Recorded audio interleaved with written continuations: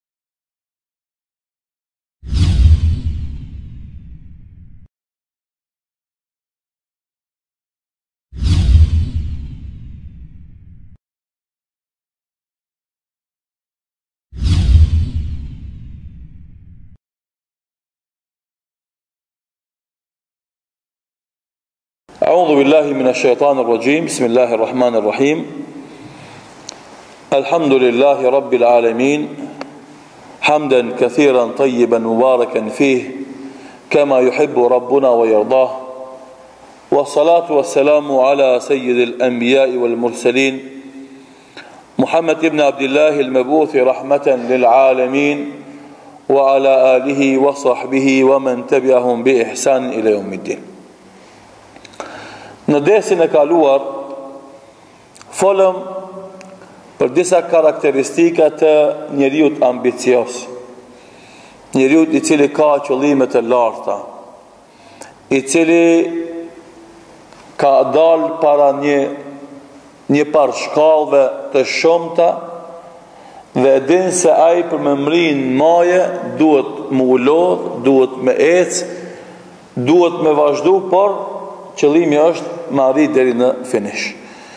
Dhe nuk arritëm që t'i përmendim të gjitha, sot me lejen dhe ndihmën e Allahut Dhul Xhelal do t'i përmendim disa që na kanë mbet që t'shohim se a i kemi na këto karakteristika apo nuk i kemi. Ose a kemi diçka prej kësaj apo na mungojnë shumë gjëra prej tyre, thjesht Që të korrigjohemi, të bëhemi më të mirë, t'na shtohet vullneti, energjia, se secilin prej neve e kap ajo vala e energjisë e vullnetit, angazhimit, elanit, entuziazmit. Masanej kalon një javë, një muaj, një vjet, dy vjet, pesë vjet, dobësohet. E kemi nevojë na me ndihmu njëri-tjetrin që me majt vazhdimisht në nivel të avansuar elanin tonë, energjinë tonë. Pse kjo? Se udhëtimi jonë drejt Allahut Dhul Xhelal nuk nalet. Çdo ditë që na ik, çdo ditë që na kalon, neve i afrohemi Allahut Dhul Xhelal. Edhe çdo ditë do të kemi mundësi të ballafaqohemi me vdekjen. Andaj nëse nuk e majmë na nivelin e ibadetit nalt, ka mundësi me ardh Melekul Meuti me na e marr shpirtin në një fazë kur na e kemi ibadetin poshtë, vullnetin e kemi poshtë. Atëherë kjo nuk është për t'u lavdru. atëherë faktikisht shkon te Allahu Dhul Xhelal me një situatë jo të kanshme dhe jo të mirë që ti s'kishe pas qef m'u taku me Allahun subhanahu wa taala në atë gjendje. Edhe kështu që këto karakteristika që i përmendim na ndihmojnë neve që të krahasohemi edhe vullneti që na humb ndonjëherë Ta kthejmë. Normal na jemi njerëz. Ndikon te vullneti jonë, rrethanat, shoqnia, muhabetet, problemet, gjendja ekonomike, telashet. Këto ndikojnë te na, mirëpo, na duhet me rezistu, me luftu. Secili duke ndihmu njëri-tjetrin që të ngrisim nivelin e besimit tonë, nivelin e ibadeteve tona, nivelin e shkollimit tonë, nivelin e inteligjencës tonë, nivelin e organizimit tonë, nivelin e sjelljes tonë. Që mos bëhemi na dele, dikush të ketë mundësi me na udhëheq qysh don ai, Por, kemi vlerën që e meriton secili prej neve. Prej karakteristikave që i ka njeriu ambicio, ambicioz është se ai njeri nuk kënaqet me gjëra të vogla dhe nuk nalet pa arritë te qëllimi i lartë. Dikush ka mundësi me thonë o hoxhë, po, po mundohemi na. Mirëpo, po kemi shumë peripeci, shumë pengesa, shumë vështirësi, shumë telashe, shumë zamet. Edhe rrethi po është i tillë. Qe që po rrimë na me popull, se m'u dallu shumë prej popullit ka e mira, ndoshta dallojmë shumë e kjo na dëmton neve. Jo, Nuk duhet kjo me qenë pengesë, duhet vazhdimisht ti me ecë përpara. Vjen populli në të mirë, s'vjen, ti udhëto udhëtimin tand drejt Allahu subhanahu wa ta'ala, ashtu sikurse është i kënaqur ai subhanahu wa ta'ala. Andaj,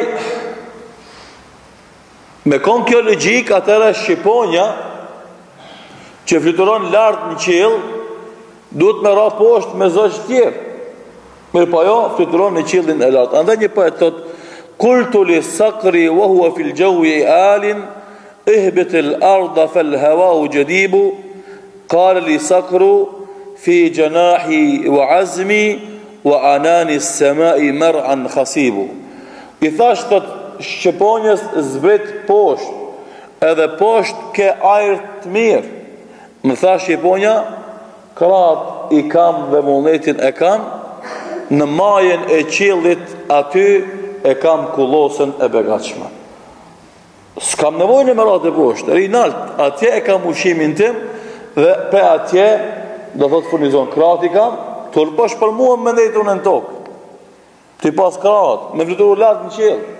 Vullnetin e kam, pse me m'nalë te poshtë. Edhe Allahu Dhul Xhelal krijimin e krijesave tjera përveç njeriut, i ka bo për t'i shërby njeriut, por edhe për të marrë mësime.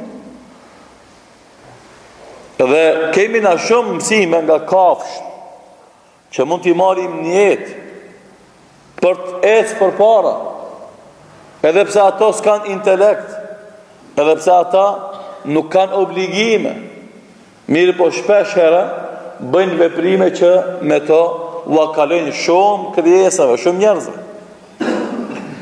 Edhe kjo ndodh, në shkollë është djali. Mundet me qenë i shkëlqyeshëm 5.00. I thu: pse be nuk bosh i shkëlqyeshëm. A, be thot se. A, këta janë ma lisht se unë. N'apet, se kur du i boj pesa. Po pse s'mëson, se më rëndësi është mësimi, përveç notës. A, do të ketë tjetër ma dob se unë. Edhe zakonisht tek na fatkeqësisht te rinia jonë konkretisht po flas, krahasohemi me atë që është më i dobët se na.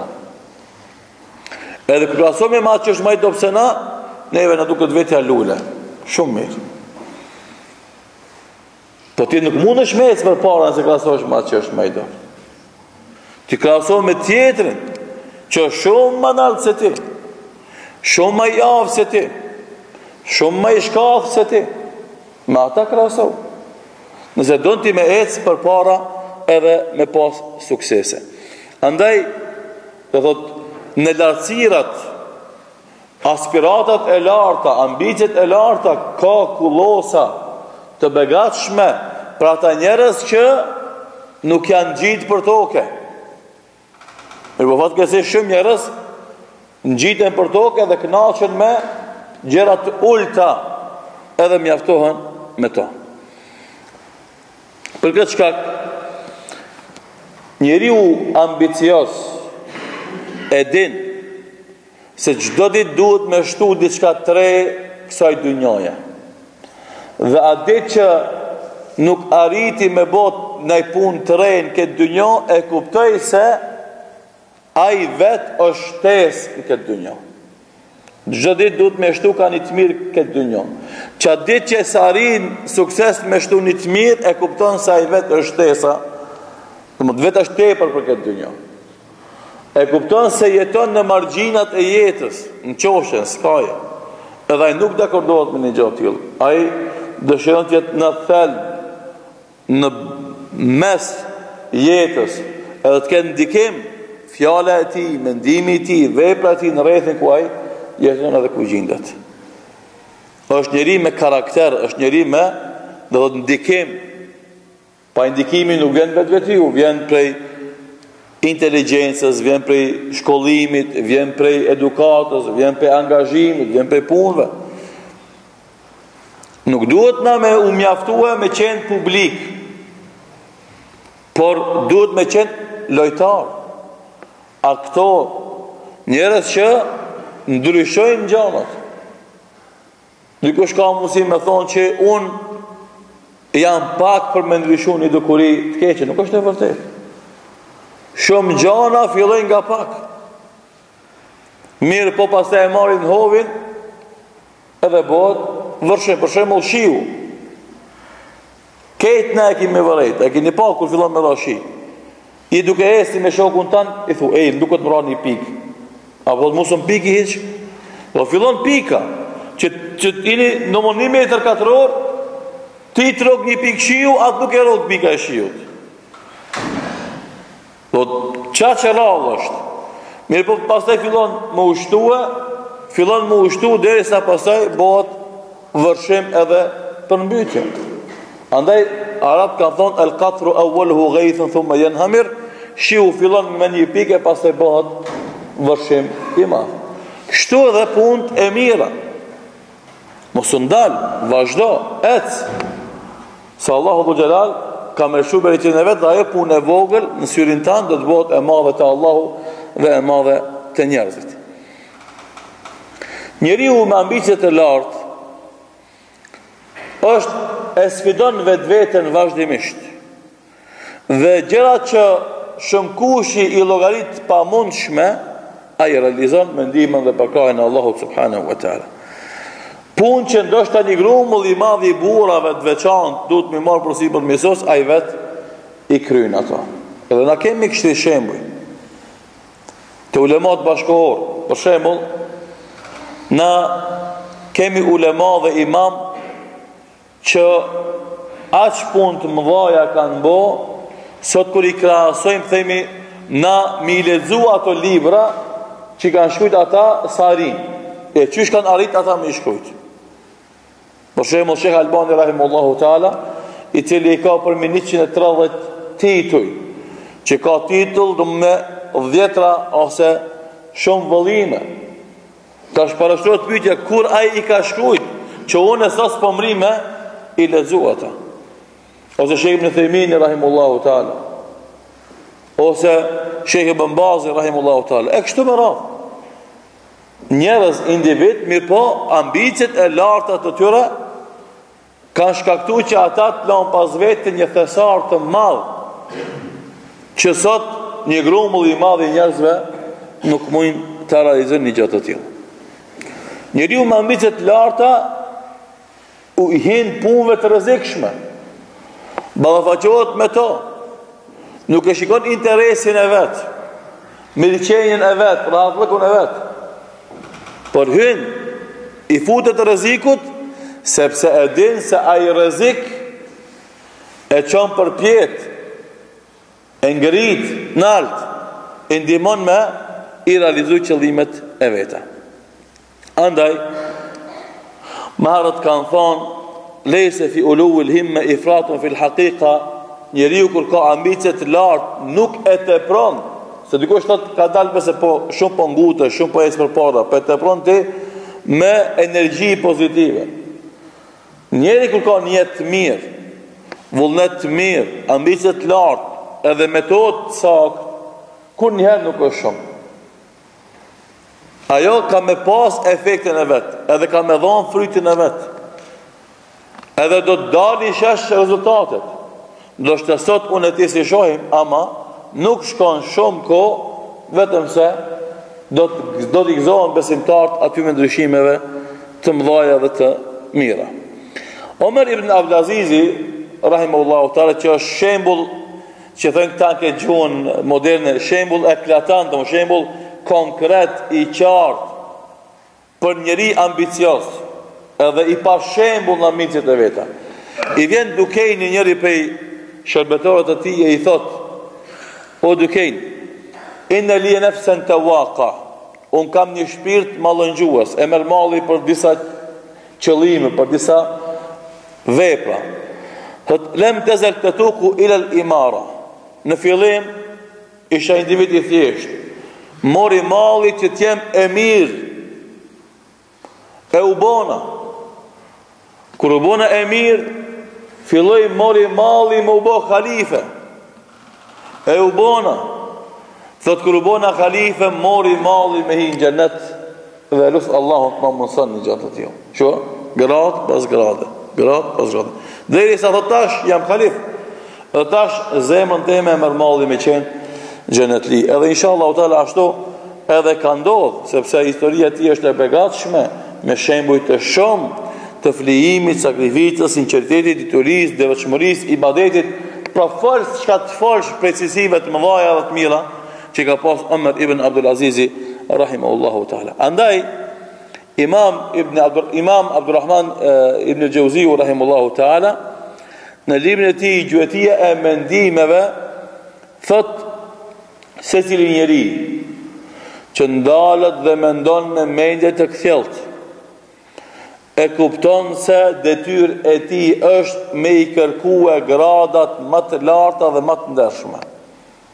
Jo m'u mjaftu me punë të vogla.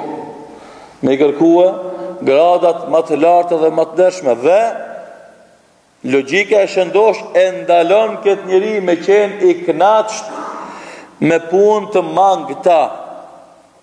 Siç thotë poeti Ebu Tayyib al-Mutanabbiu, "Lam ara fi uyubi an-nasi 'ayban ka naqsi al-qadirin 'ala at-tamam", Nuk kam pa të metë në mesin e njerëzve gjë siç është mangësia e atyre për të qenë të plotë. Njerit Allahu i ka dhonë shumë mundësi. Dhe fuqinë që e ka njeriu s'e ka askush. Andaj thotë ky poeti nuk kam pa të metë ma të madhe se sa se sa mangësia e njerëzve, a njeriu ka mundësi me qenë i plotë. Pse ti rrin noksan? Kur ti mundë shumë punë të mëdha me bo. Sidomos po duhet me përsërit, sidomos kohët e fundit 10-15 vjet, 20 vjet e fundit, dembelia dhe përtesa e madhe që është përhap në mesin e të rinjve prej punëve të ndryshme, prej angazhimeve të ndryshme.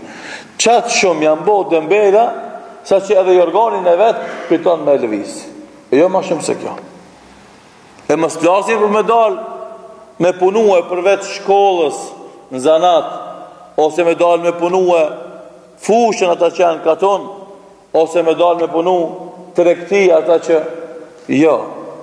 Ose ta zomë, s'do me punu për pare, dil me punu te oborri yt. Fshi rrugën e shpijes tonde, oborrin e mahallës tonë, puno diçka rregullo, mos rri kot, mirëpo jo, s'dona as me mësu, as ibadet me bo, as me punu, as me kontribu, krejt presim hazër, Edhe pastaj themi, siç ndodh zakonisht ankesat, jo s'ka, jo është gjendja e vështirë, jo gjendja është e ronë, jo nuk jetohet kështu, deri kur ma kena me çu kështu? E kështu me radhë.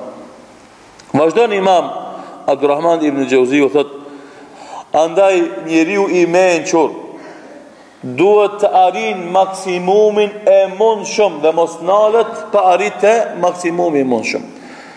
Andaj thot, po të ishte e parafytyrueshme që njeriu me hip në qiej, ky flet para 700 vjetve. Po të ishte e parafytyrueshme që njeriu të hip në qiej, do të ishte mangësi e shëmtume ai me jetu në tokë. E sot po mujn me hip njerëzit në qiell. Ama kush pi, pi neve ka arrit dituri shkencore të tilla që ai din diçka për qiellin, për astronominë. Ti s'ki s'ki, s'ki informata bazike. E mos flasim me qenë ti i përgatitun me hip në qiell.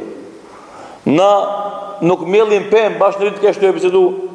Për shembull kur flasim për projekte humanitare, bamirëse, me xhematin e ri, menjëherë vjen arsyetimi, sqarimi, po, po, hoxhë, po duhet pare. Si mos kesh pare, s'mun bon mirë. Nuk është e vërtetë. Shembull i thjeshtë. Çfarë pare tash është pranvera, fillimi i pranverës.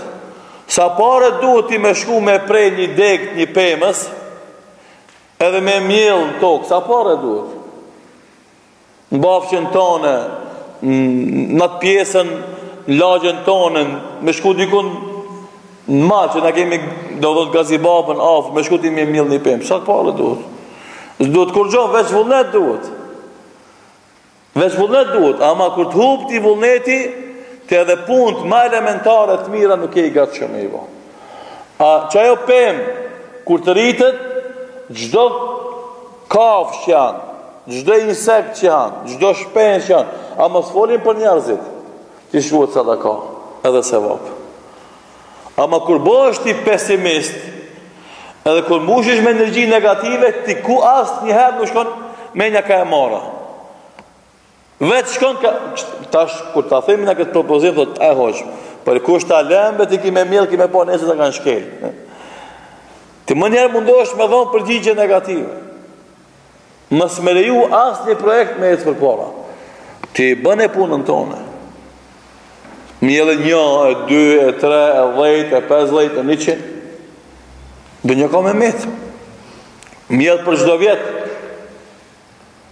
Dikush ka me përfitu për asaj. Ama problemi është te ti s'ki vullnet, s'ki energji, s'ki ambicje. Andaj ti mjaftohesh me gjëra shumë të vogla të kësaj dynjaje. Pra thotë imam Abdurrahman ibn Xhauziu rahimehullahu teala, po të ishte e parafytyrueshme ngjitja lart në qiell, do të ishte mangësi e shëmtuar qëndrimi në tokë. Shikoni tash. Dhe po të ishte e mundshme të fitohet pejgamberia me punë, me angazhim, do të ishte mangësi e madhe ti mos me luftu me mbri atë gjo. Edhe pse normalisht pejgamberia është dhuratë prej Zotit. Ama nëse do t'ish kon gjë që fitohet, ti u duhshe munu për me e fitu ata.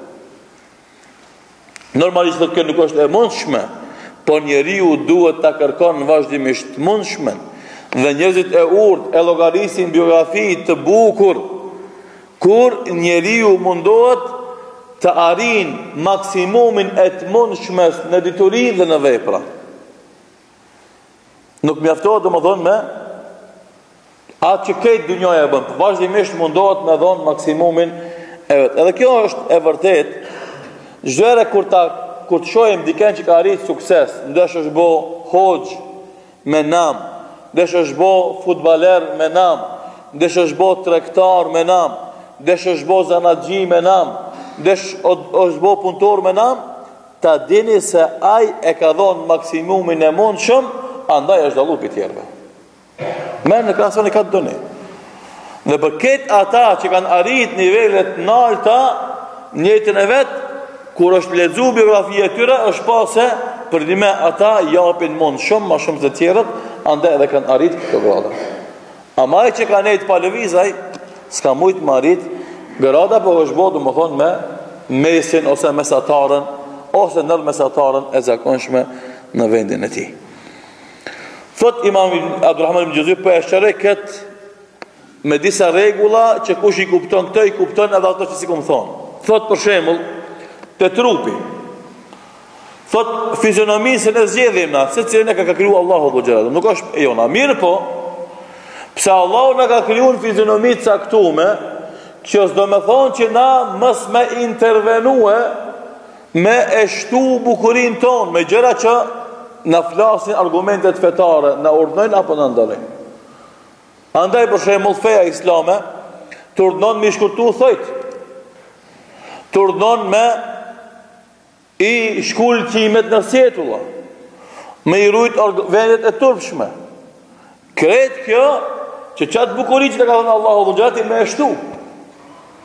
Andaj për shembull ti mundesh me kon i bukur në fizionomi. Ama nëse të vjen era e keq, që i largon njerëzit prej teje? Andaj Islami të mëson që atë bukuri natyrore që të ka dhënë Allahu xhel-le xhelal,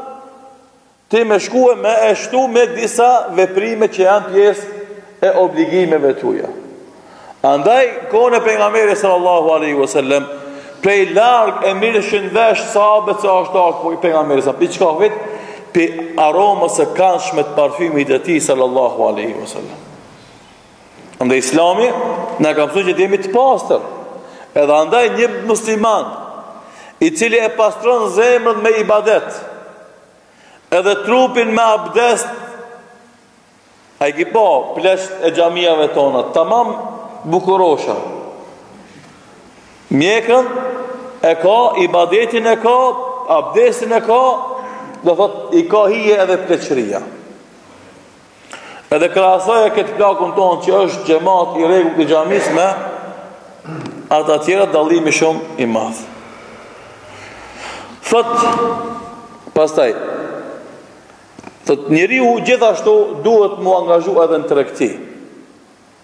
Pse se ky t'i ndihmon tjerëve e mos ketë nevojë tjerët m'i nimu këtij. Para shtatëqind vjetëve i ka dhënë këto këshilla. Thot muslimani duhet m'u angazhu me tregti me fitu. Që ky t'u ndihmon tjerve, jo tjert t'i ndihmojn këtij. Mirëpo jo të zhytet n'tregti qatë shumë, saqë tregtia të bëhet sebep me pengue prej mësimit t'fesë. Shikoni çfarë këshile domethanë tamam, sikurse me i dit me neve. Thot mirëpo jo qatë shumë, Saqë tregtia m'u bo pengesë nga mësimi i fesë. E pastaj kur ta bën një kapital bazë, atëherë le t'i kthehet e le t'i përvjel krahët ta mëson diturinë. E te dituria, thot mangësia ma e shëmtume është taklidi. Imitimi, taklidi i medhhebeve. Po flet për njeriun që jeton në botën arabe, njeh gjuhën arabe, prej fëmijërie rrin me ulema. Gjëja ma e shëmtume në hapësirën e diturisë është taklidi, që ti me imitu në mënyrë të verbër parathanësin, parakaluesin tanë, imamin tanë. Qashtu ka thonë hoxha dhe, po argumenti, vallahi s'e di. Qashtu ka thonë hoxha, po pak logiko kjo nuk shkon, unë s'kam çka logikoj, e ka thonë hoxha qashtu. Andaj thot imam Abdurrahman el Xhevzi, ibn Xhevzi, rahimehullahu ta'ala, njeriu, domethonë, në mejdanin e diturisë, gjëja më e shëmtume e mangët është imitimi i verbër. E nëse thot ky njeri ka ambicie dhe vullnet, kalon prej imitimit të tjerëve dhe zgjedh për veti medhheb që përputhet me të arriturat e veta në dituri. Sepse imituesi, mukallidi, është i verbër, domethonë, që udhëhiqet nga lideri ose imami i tij.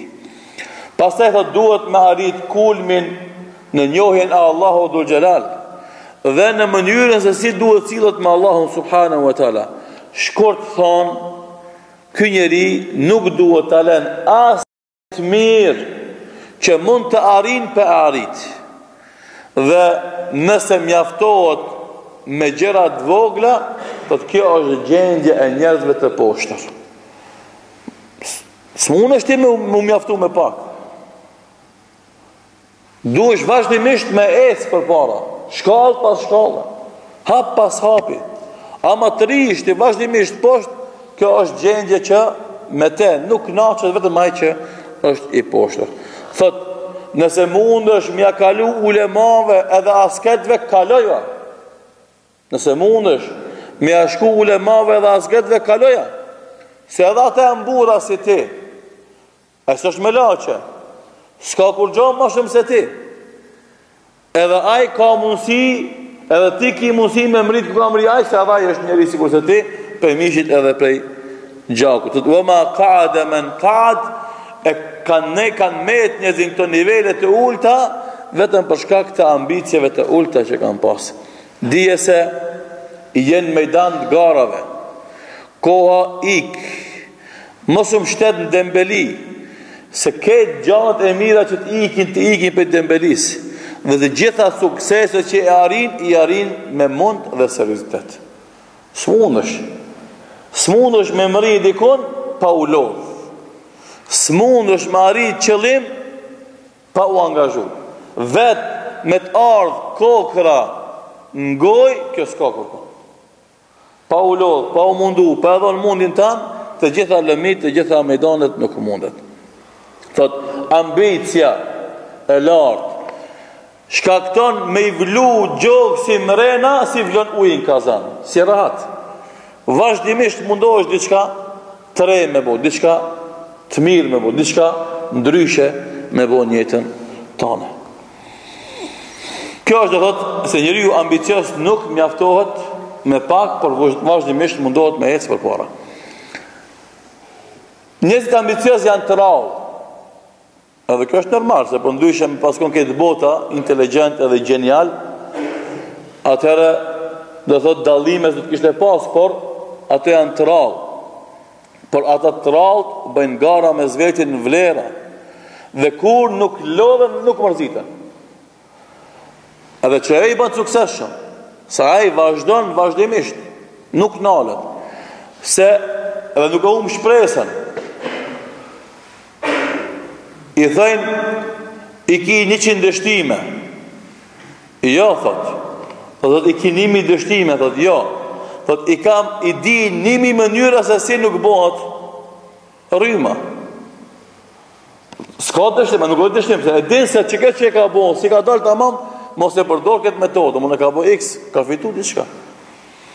Wala yaqnatu min rahmati rabbih ila ad-dallun, se vetëm të devijuarit e humbin shpresën në mëshirën e Allahut.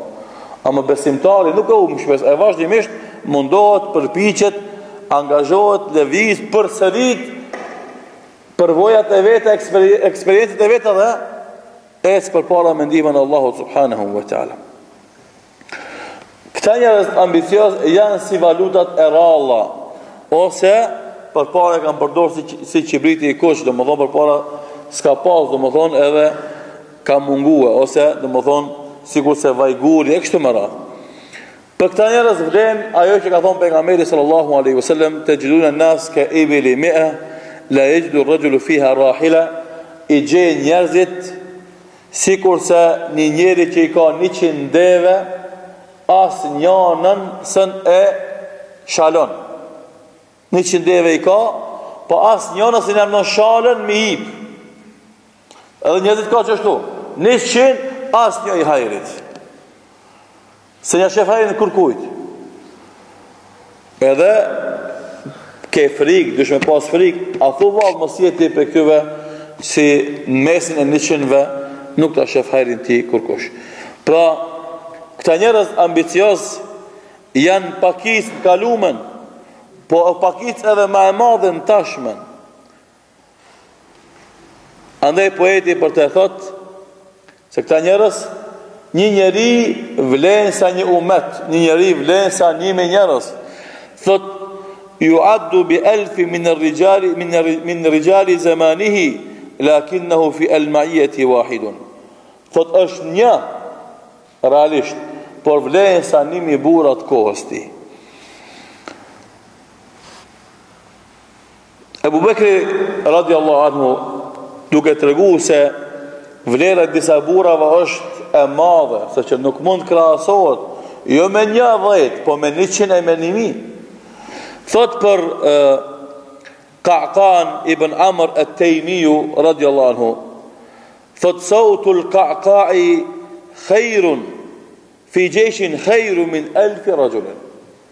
Zani i Ka'ka ibn Tejm ibn Amr e Tejmijut është ma i mirë me një ushtri se sa njëmi ushtarë me i pasë. Do thotë sa burrë i zëshëm edhe zëri i ti është i trishtueshëm për armiq sa që e din se kur është ai dikun do thotë është shumë fshtirë me fitu atë betej. Amr ibn Asi radiallahu anhu Kur lipi ndihmë prej Emir el Mu'minin Omer ibn Khattabit radiallahu anhu për çlirimin e Mekës ia shkroi një letër dhe i tha Omer radiallahu anhu Amma ba'd fa inni amdadtuka bi arba'ati alaf rajul. Thot e kum nis një ndihmë për ty prej 4000 burrave. Në kokë të çdo 1000 burrave, një njeri sa 1000. Katër mijë edhe katër. Që këta katër, sa katër mi, edhe katër mi domethonë tetë mi. Thot i kam çu katër mi burra, në çdo krye t' një mi burrave, një një burrë e ki që vlen sa një mi. E kush janë ata? Tha Zubejr ibn Avami, një. Mikdad ibn Amr, dy. Ubade ibn Samit, tre. Dhe Muslimetu ibn Khalid katër. Një burr nimi. A ka kësi burra sot? Që vlera e tyre është një sa nimi a thua vallë kjo punë ka ndryshu. Shumë sa që nimi s'janë me vlerë sa një. Ka ra pazari shumë. Edhe na e kemi obligim gjithë me ngrit njëri tjetrin. Edhe mu bo, ma me vlerë, ma me peshë, që zoni jonë me, ndër, me, me depërtu larg, edhe na fjala jonë me pas peshën e duhur. Gjithashtu, tregohet një rast prej rasteve në histori islame, Omer ibn Khattabi radiallahu anhu,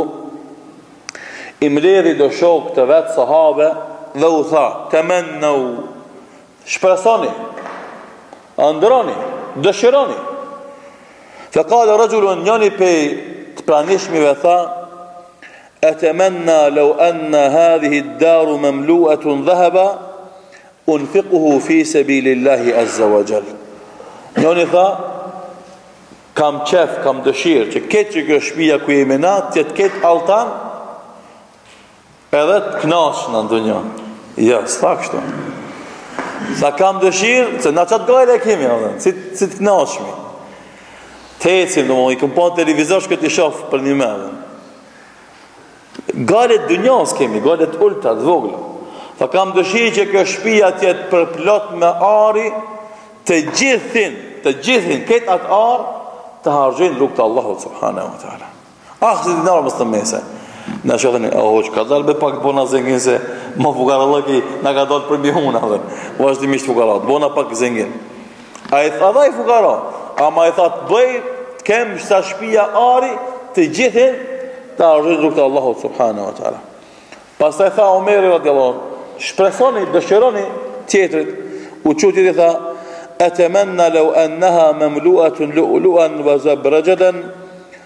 وجوهرا أنفقه في سبيل الله عز وجل وأتصدق به تدفع أن كم دشيثة كم كتشبين كريت مارغاريتار الديامانتا الروبينا E krejt atë ta hargjoj në rrugë të Allahut subhanahu wa taala dhe ta jap sadaka. Kjo vlerë edhe më e madhe. Tha Omeri radhiyallahu anhu, "Temennu dëshironi, shpresoni tjetër gjo." Than, "Ma nadri ma naqulu ya amir al-mu'minin." S'po dina çka me thonë tjetër sen.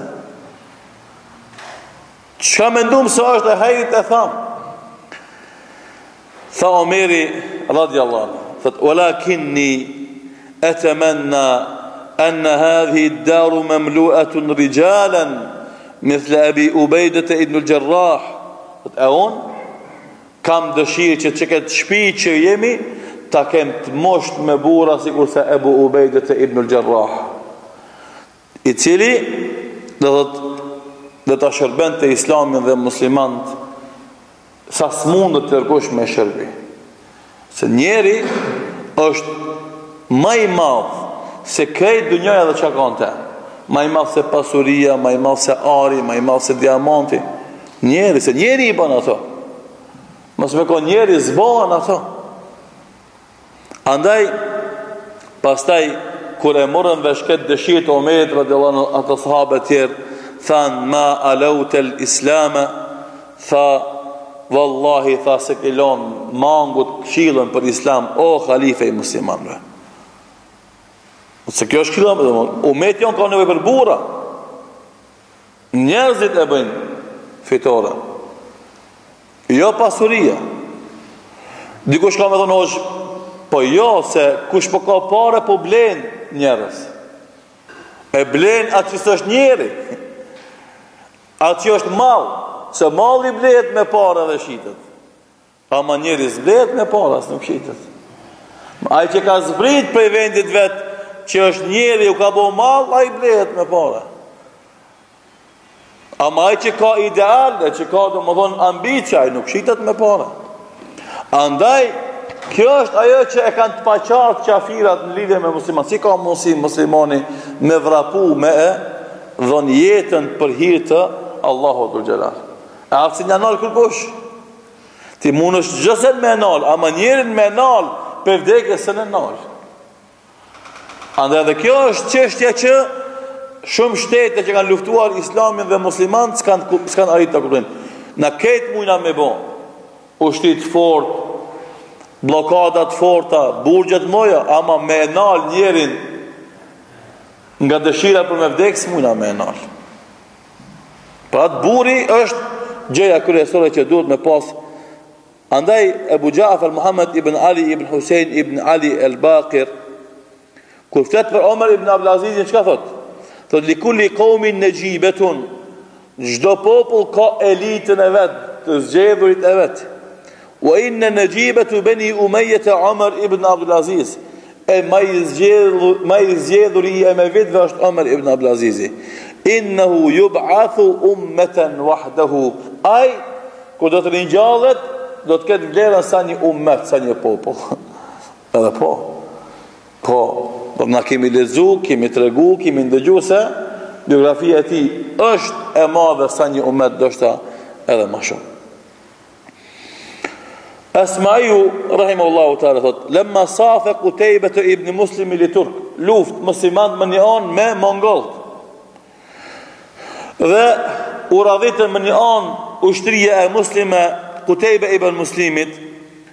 Edhe në një anë, ushtria e mongolëve, betejë e vështirë, e madhe, e rëndë, u trishtun pak muslimanët se numri jo i barabartë.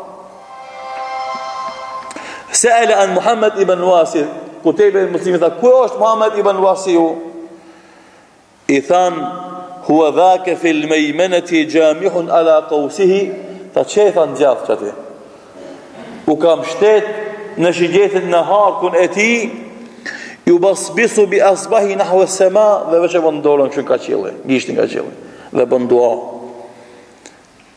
E tha, Kutejbe ibn Muslimi tha, qeky gisht, që ban dua, që e lut Allahun azze we xhel, është ma i dashur te unë, se njëqind mijë shpata me i pas. Se njëqind mijë shpata me i pas. Edhe trima dhe luan ushtar me i pas. Një dua e këtij Muhammed ibn Wasit prej ulemave selefit. Ma e dashtë se 100 mijë ushtar me shpata në dorë me i pas një burrë.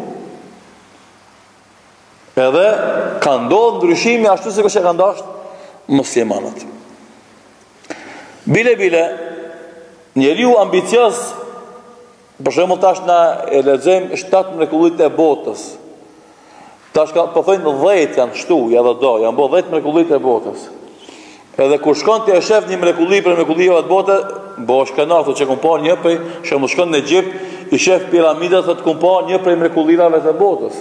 Shkon te muri kinez, edhe hyn muri kinez thotë kam qenë te njëra prej mrekullive të botës. E kështu me radhë. Jahja ibn Maini, imami i muhaddithinëve, thotë kesh në Egjipt. Thotë dhe pashë tre mrekullitë botës. E pashë Nilin, lumi i xhenetit. Thotë i pashë piramidat, thotë dhe pashë Said ibn Ufejrin. Mrekulli e botës, alim pa shembull. Dijetar pa konkurencë. I ngritur, askush s'mundet me e mrri atë.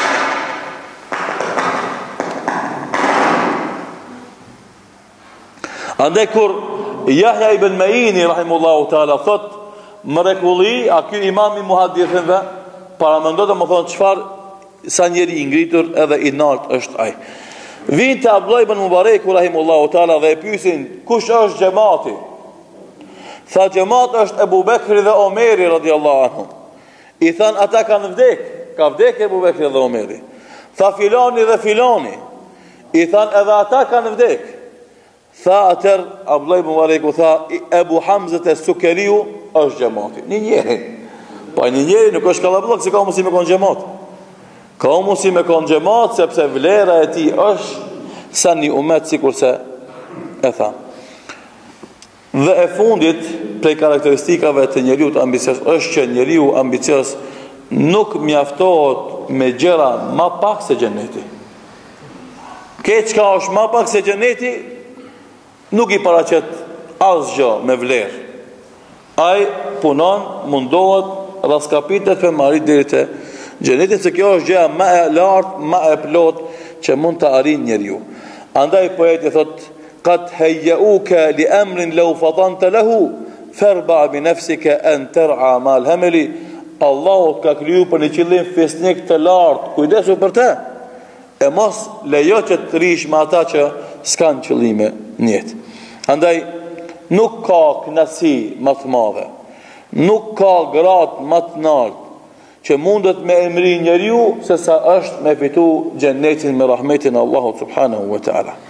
Andaj, njohja e Allahut,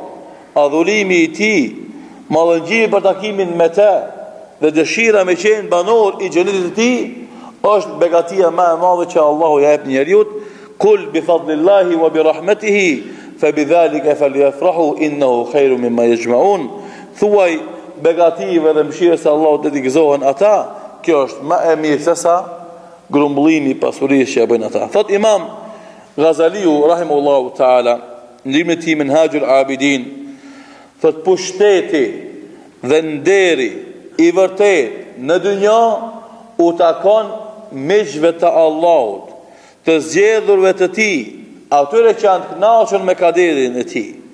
Toka, deti, Uji, guri, shtëpia, ari, argjenti, xhinët, njerëzit, krejt këto kafshë janë kriju për njeriun dhe për shërbimin e tij. Këta njerëz nuk dëshirojnë asgjë tjetër veç asaj që don Allahu. E çka don Allahu bëhet. Ata njerëz nuk i frigohen askujt veç Allahut, e krejt njerëzit u frigohen atyre. Ata ata njerëz nuk e shërbejnë askënd veç Allahut. E pastaj Allahu Dhul Xhelal bën sebeb që krejt krijesat t'u shërbejnë këto njerëz. Mbretërit në dynja nuk mujn me mri as një të dhjetën e asaj që e mrijnë këto njerëz, madje edhe shumë më pak se kjo. Pushteti i ahiretit është ajo për të cilën thotë Allahu subhanahu wa taala wa idha ra'aita na'iman Wa idha ra'aita thamma ra'aita na'iman wa mulkan kabira. Dhe kur t'shohish aty në xhennet, do thotë begatinë dhe pushtetin e madh dhe të vërtetë. E shikoni se si thotë Allahu subhanahu wa taala, mulkun kabir, mbretëri dhe pushtet i madh. A të gjithë na e dimë se dunjaja me çka ka në te është pak dhe se mbetja në te që nga fillimi deri në fund është pak. E hisja jonë në këtë pak është edhe ma pak.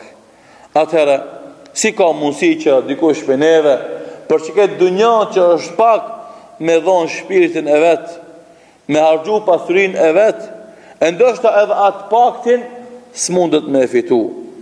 Pra çka thotë, Nëse don njeriu pushtet të vërtetë, begati të vërtetë, rehati të vërtetë, le të punon për xhennetin e madh, begatinë absolute të Allahut Dhul Xhelal, të cilin njeriu mundet me fitu edhe me dy rekate namaz. Po, dy rekate namaz. Dy dirhem që jep fi sebilillah.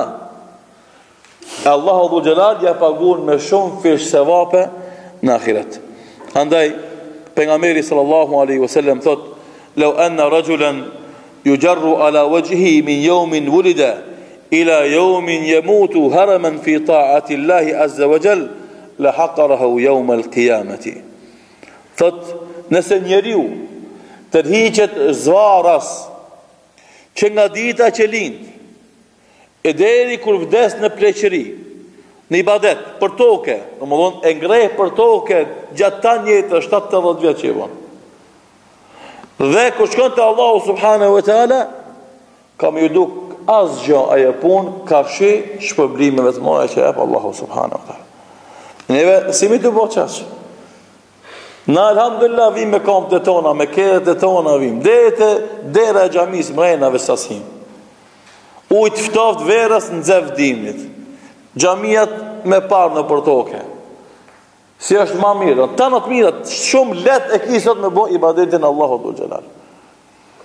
E çka ke me llogarit nëse çka qysh mendon ti që ke me dal karshi shpërblimeve të mëdha të Allahut subhanahu wa taala punët e tua. Andaj nëse krejt tanë jetën për çdo ditë të rrekin zvaras për toke, me fytyrë për toke, për me bo ibadet pa nal. Ke me llogarit asgjë në krahasim me shpërblimet e Allahut subhanahu wa taala. Atë ditë kur t'i shohim begatitë e mëdha të Allahut subhanahu wa taala në xhennetin e tij. Andaj njeriu që ka ambicie të larta, Nuk mashtrohet me të mirat e kësaj bote kalimtare. Nuk kënaqet me të mirat e kësaj jete që sado që arrijnë janë asgjë në krahasim me të mirat e Allahut subhanahu wa ta'ala. Por ambicja e shtin vazhdimisht me mendu n'përfitimin e jetës pa fund, e jetës së vërtetë, jetës së amshueshme të ahiretit. Atje ku Atje s'ka mangësi, s'ka lodhje, s'ka sëmundje, atje ku s'ka brenga, ku s'ka mërzia, ku s'ka pikllime, atje ku ka vetëm dritë që ndriçon, ku s'ka errësirë, atje ku ka margaritarë që shëndrisin, pallate të bukura të mëdha, lumej, Me qumësht, me mjaltë, me verë, atje ku ka huria që i presin burrat e vet në kokë të tyre i kanë gratë e veta.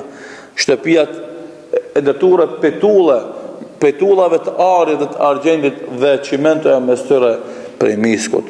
Pra xhenet për të cilin thot Allahu subhanahu wa taala innal ladhina amanu wa amilu salihati kanat lahum jannatul firdausi nuzula Khalidina fiha la yabghuna anha hiwala. Ata që besuan Allahun, bënë vepra të mira, atyre u takojnë vendbanimet në xhenetin Firdaus, ku do të mbeten përgjithmonë dhe kurrë s'kanë me dashë prej atij vendit me u largu. Andaj kjo është qëllimi e kur të mrrish më atje, s'ki çka lyp më, se s'ka të mangësi. Atje nuk plakesh, se s'ka ditë edhe natë. Atje nuk smundesh, se s'ka bakterie dhe virusa. Se ushqimi është i pastër. Ajri është i pastër. Atje nuk smuhesh me strese dhe smundje fizike, se s'ka hile, s'ka zili, s'ka inati. Atje nuk smuhesh prej stresit, se s'ka varfni. Andaj, çka ka me të godit aty? Nuk godet asnjë e keqe. Edhe normalisht, kur e ka parasysh këtë të mirë, që ja përgadit Allahu dhul xhelal besimtarit në ahiret, atëherë krejt mërziat, krejt gajlet e dynjos, i përfundojnë. Edhe për fund, se xheneti është vatani kryesor i besimtarit. Vatani ku Allahu e ka kriju njeriun dhe besimtarin dhe veç e merr malli me u kthy n'vatanin e tij të parë. Thot poeti, nekkil fuadeke hejthu shite min el hewa, kah don zemra çoje veten, mel hubbu illa lil habibil euueli, por dashuria mbetet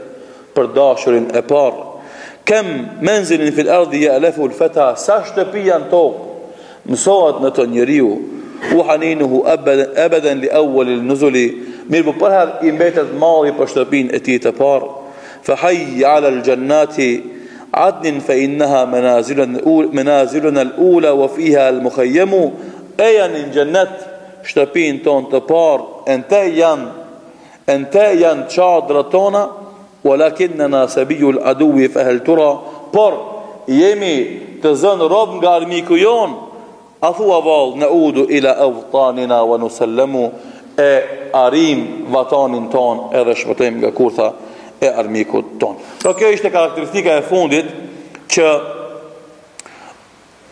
është e njeriut ambicioz i cili nuk mjaftohet pa mri në xhenet dhe ai e bën çdo punë e cila e çon te dera e Allahut azze ue xhel te dera e xhenetit. Normalisht janë edhe disa elemente tjera që kanë të bëjnë me karakteristikat e njeriut ambicioz, po këto do t'i kalojmë që të fillojmë domethënë të flasim në dersën e ardhshëm inshallah taala për vlerën e ambicies së lartë në argumente nga Kurani fisnik dhe suneti i pejgamberit sallallahu alaihi wasallam duke e lut Allahun Allahun dhul xhelal vazhdimisht të na bën ambicioz në veprat e hajrit, të na jep vullnet për punë të mira e të na jep energji që të mos lodhemi nga angazhimet për hajr e të fitojmë rahmetin e Allahut dhul xhelal dhe xhenetin e tij wallahu taala alem wa sallallahu ala muhammedin wa akhir dawana anil hamdulillahi rabbil alamin